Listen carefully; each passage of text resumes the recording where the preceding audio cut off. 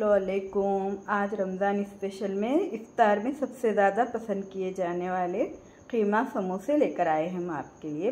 तो ये हैदराबादी ख़ीमा समोसा बता रहे हैं हम आज आपको। तो चलिए हमें क्या क्या लगेगा। तो हमने ख़ीमा लिया है। आप चाहे तो चिकन में भी बना सकते हैं। तो हम एक किलो ख़ीमे के हिसाब से बता रहे हैं आपको।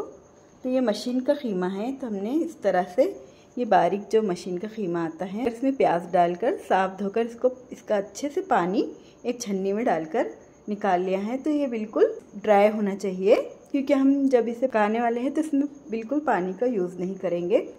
ये सूखा सूखा होता है ये ख़ीमा तो इसलिए हमने इसको वॉश करके इसका पानी निकाल लिया है। तो ये एक किलो ख़ीमे के हिसाब से हमें क्या क्या लगेगा बताते हैं आप। हमने दो मीडियम साइज़ की प्याज ले ली थी और उसको इस तरह से चॉप कर दिया है। हमें एक टेबल स्पून उतना अदरक लहसुन का पेस्ट लगेगा और एक टीस्पून हमने तेज़ वाली लाल मिर्ची ली है और खड़ा मसाला लगेगा हमें। तो ये हमने बिल्कुल आधा टीस्पून शाजीरा लगेगा, चार से पाँच हरी इलायची और तीन लौंग लिया है हमने। इलायची और लौंग को हम थोड़ा रफली मोटा मोटा कूट कर ले लेंगे। और घर का फ्रेश गरम मसाला लगेगा, जिसकी रेसिपी हम डाल चुके हैं। आप चाहे तो हमारे चैनल पर चेक कर सकते हैं। तो ये हमने एक टीस्पून गरम मसाला लगेगा। और हम हरी मिर्ची भी बना रहे हैं इसे। तो आप आपके टेस्ट के हिसाब से हरी मिर्ची कम या ज़्यादा डाल सकते हैं। तो ये हमने 10-12 हरी मिर्चियाँ ले ली हैं। ये तेज़ वाली हरी मिर्ची है तो इसको हम रफली मोटा मोटा पीस लेंगे। और हम रेडीमेड पट्टियों का यूज़ करने वाले हैं। इस तरह के जो समोसी पट्टी आती हैं तो स्टोर करके किस तरह रखना है, वो भी आज हम आपको बताएँगे। तो चलिए सबसे पहले हम खीमे को बघार लेंगे। देखिए, हमने एक बड़ी सी कढ़ाई ले ली है। आप चाहे तो नॉन स्टिक पैन या कढ़ाई में बना सकते हैं। इसे हम खट्टा बनाने के लिए डेढ़ टेबल स्पून उतना नींबू का जूस यूज़ करेंगे और एक टीस्पून हम ब्लैक पेपर यानी कि काली मिर्ची, कुटी हुई काली मिर्ची लेंगे। कढ़ाई में ऑयल डाल देंगे कुकिंग ऑयल सबसे पहले हम ये जो शादिरा रखा था, ये डाल देंगे। और हमने ये जो लौंग, इलायची रखा था, इसे रफली मोटा मोटा इस तरह से कूट कर ले लिया है हमने। ये भी इसमें डाल देंगे।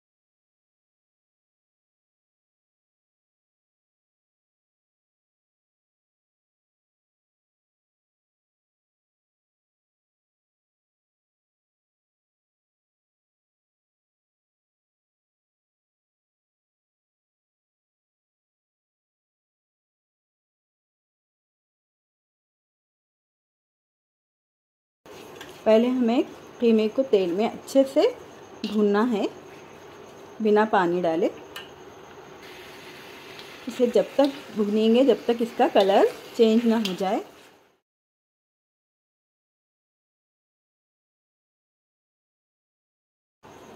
देखिए दो तीन मिनट पकने के बाद इसमें से ये जो है सो पानी रिलीज़ हो रहा है, देखिए ये। तो इसमें कोई पानी डालने की ज़रूरत ही नहीं पड़ती है, क्योंकि ये बहुत बारीक होता है खीमा। तो इसलिए ये ख़ुद अपने ही पानी में अच्छे से सॉफ्ट हो जाता है और गल जाता है और इसे बहुत ड्राई करना होता है। कोई भी समोसे बनाते हैं तो उसके खीमे को ड्राई ही करना होता है, चाहे आप चिकन में बनाएँ या फिर मटन में बनाएँ, क्योंकि इसका खीमा अगर ड्राई होगा तो ही हमारे समोसे अच्छे बनेंगे। तो इसे हम पूरा सूखने तक अच्छे से ड्राई हो जाएगा। तब इसमें थोड़ा सा कुकिंग ऑयल डाल के हम हरी मिर्ची और बाकी के मसाले डालेंगे। तो चलिए इसे दो तीन मिनट जब तक इसका पानी अच्छे से ड्राई ना हो जाए, तब तक इसे पकने देंगे।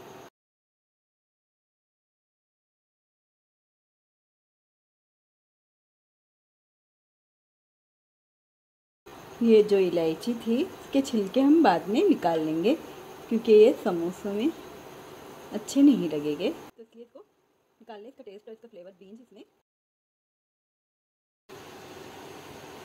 देखिए, अभी ये हमारा पानी खीमे का अच्छे से ड्राई हो गया है। तो चलिए, अब इसमें हम बाकी के मसाले डाल देंगे। दो टेबल स्पून इतना हम कुकिंग ऑयल डाल देंगे।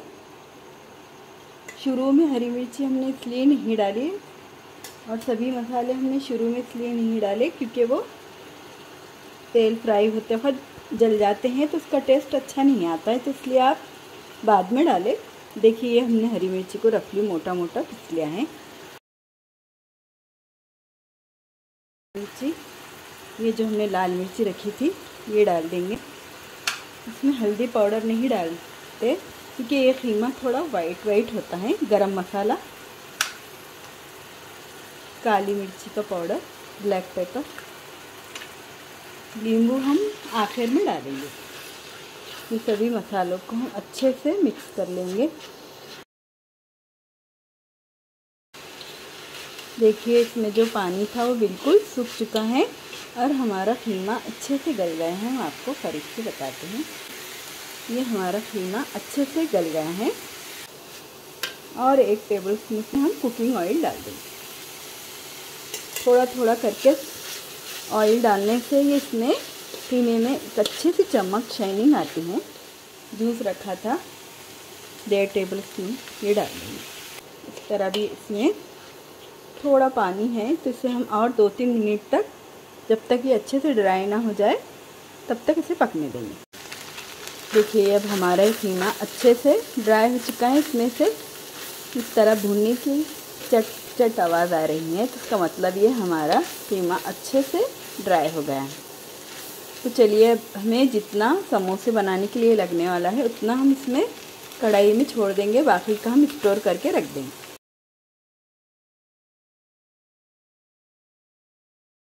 ये जो हमने प्याज रखी थी, ये डाल देंगे। चलिए इसे हम और थोड़ा चटपटा बनाने के लिए हमने दो हरी मिर्ची को बारीक चॉप करके ले लिया है। थोड़ी सी खुशबू के लिए हम इसमें कसूरी मेथी डाल रहे हैं तो इस तरह से इसको।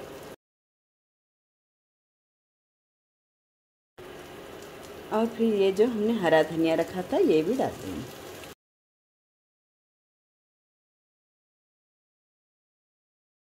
और दो मीडियम साइज़ की प्याज ले लिया था, हमने दो। तो इसमें प्याज ज़्यादा होती है, बस इसे हम बिल्कुल फ़िल्म को बंद करने के बाद इसमें ये और प्याज ऐड कर लेंगे।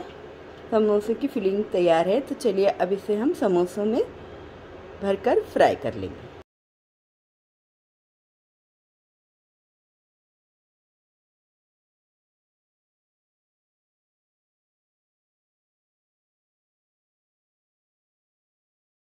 कॉटन के कपड़े को थोड़ा सा पानी डाल के इस तरह हम एक साइड रख देंगे। आप चाहे तो किचन टॉवल भी ले सकते हैं। पहले आप पूरे पट्टियों को बाहर निकाल लें। जितने आपको यूज़ करना हो उतने निकाल लें। हम इसमें से आठ दस निकाल रहे हैं। तो ये इस तरह से इसको जो हमने गीला करके कपड़ा रखा था, इसमें डाल के इसको इस तरह से ढक कर रख दें। और फिर बाकी के इसको हम ये क्लीन फॉइल जो आती हैं। इस टाइप की या आपके पास जो भी कैरी बैग है। लेकिन ये इसमें ही अच्छे सेफ़ रहते हैं ये। तो इस तरह से इसको देखिए हमने इसे एक तरह से क्लीन फॉइल में रख दिया है। अब इसको हम इस तरह से इस पर फोल्ड कर देंगे। इस तरह से क्लीन फॉइल में रखने से ये सॉफ्ट रहते हैं। तो चलिए अब इसको हम वापस उसी की कैरी बैग में डालकर रख देंगे।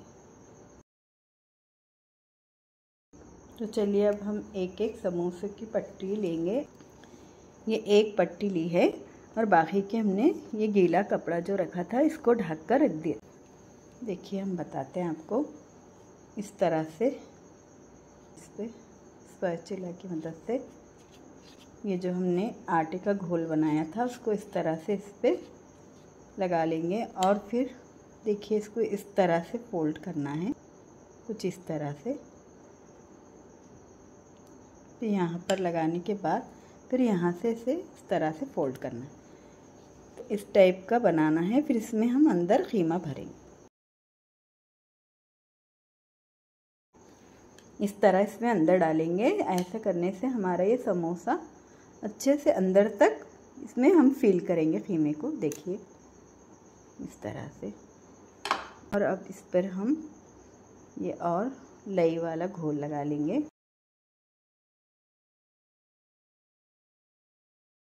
इस तरह से इस पर कवर करते हुए इसको कुछ इस तरह से आप देखिए, अब हमारा एक समोसा बन के रेडी है। इसी तरह हम दूसरा भी बना लेंगे। देखिए, ये हमारे पूरे समोसे बनके तैयार हैं। हमने जितने फ्राई करना था, उतने ही बनाए हैं।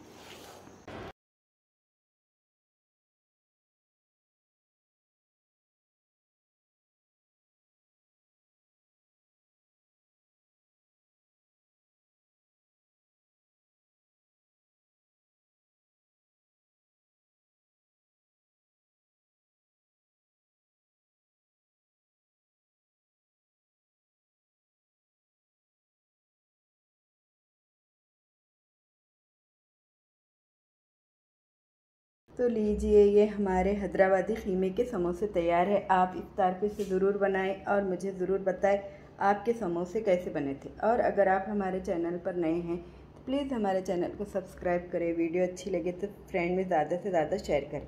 तो चलिए मिलते हैं इन अगली रेसिपी के साथ। अल्लाह हाफिज़।